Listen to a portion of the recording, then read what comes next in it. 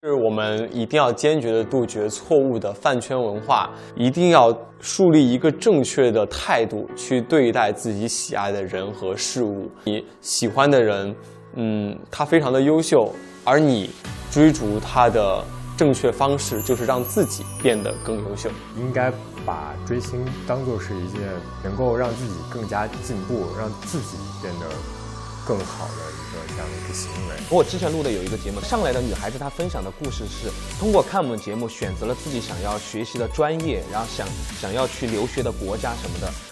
我那个时候就会非常感动，你的做的节目能影响他们的人一些人生规划，而且是比较正向的一个方面。我觉得这样的追星就是比较好的一个方向。偶像就是能给你带来正确领导的人，给你自己生活带来希望的人。我觉得其实其实所有人都有可能成为偶像，在每个行业里遇到我们敬佩的人都会叫他偶像，他可能是体育运动员，也可能是科学家，也可能就是我的父母、我的老师、我的同学。你看到了你想要成为这个人，在为他的梦想而努力，那么你也应该在自己的生活当中，跟着你想要追随的这个人的步伐，去过好你自己的生活，去成为你真正想要成为的人。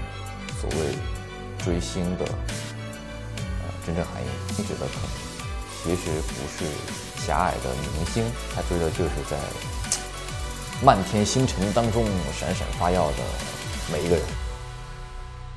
好就是我们在这里要跟大家强调的是，我们坚决的要抵制这个不良的饭圈文化，同时提倡大家要理智的追星。那其实一个正确的偶像呢，对于未成年人在他的人生道路上会起着非常积极的作用。各个工作的这个榜样的人物来说，要专注于自己的工作，专注于自己的作品和事业，这样呢才能为我们这个未成年人系好他们人生第一颗纽扣。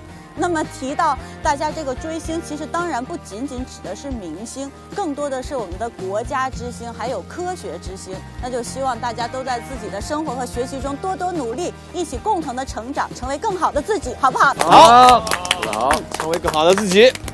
所以这一期很遗憾，没有人找到这个宝藏，但是呢，大家也都无限的接近真相了。所以下一期我们一起多多加油，好不好？加油加油加油加油！我们下期再见啦！一起喊一下我们的口号，来，全体起立。名侦探学院要做就做，Number One。